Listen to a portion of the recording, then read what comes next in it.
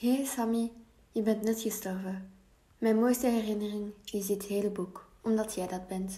Dank je dat je je leven hebt opgetekend. Het had langer moeten zijn. Ik denk dat je moet weten dat je voor je stierf, bij zonsopgang, vroeg of we je naar het raam wilden verplaatsen, zodat je jouw kant van de berg kon zien. Je zei, zodat ik thuis kan zien. Ik hou van je, Cooper.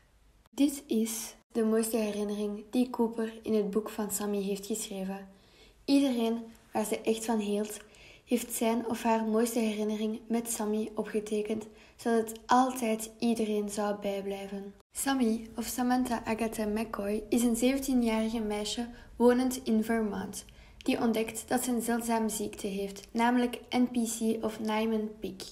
Haar leven zit vol dromen. Ze droomt ervan om te gaan studeren op NYU in New York en een beroemde schrijfster te worden. Maar alles stort in door haar zeldzame ziekte. Haar familie en vrienden blijven haar steunen en ze beleeft haar beste jaren. Nochtans steelt NPC al de dromen en herinneringen die ze maar kan hebben. Zo kiest ze om een boek te schrijven waar ze alles in optekent: het geheugenboek. In dit boek schrijft ze echt alles op die ze maar heeft beleefd, maar ook wie ze leuk vindt, welke problemen ze tegenkomt en op wie ze verliefd is. Haar oude jeugdvriend Cooper, waarmee ze jaren niet meer mee heeft gebabbeld, komt terug om haar te helpen en te steunen totdat het niet meer mogelijk wordt. Ze zeggen dat ik alles zal vergeten, dus schrijf ik om te herinneren. Het is een dramatisch roman. De auteur is Lara Avery.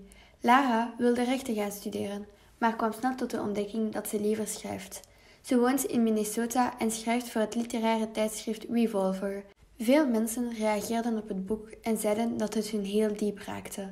Maar voor mij persoonlijk vind ik lezen niet zo leuk. Nochtans nam dit boek mij echt mee. Je moet wel een sterk hart hebben, want sommige momenten kunnen hard aankomen. Maar voor mij is het een boek dat je met het echte leven confronteert.